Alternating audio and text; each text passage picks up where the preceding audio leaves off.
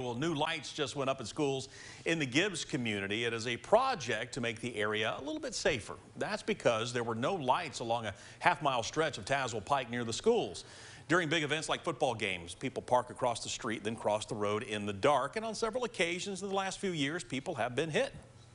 And you can imagine just this entire stretch of sidewalk and the road being dark. And we have three schools right here.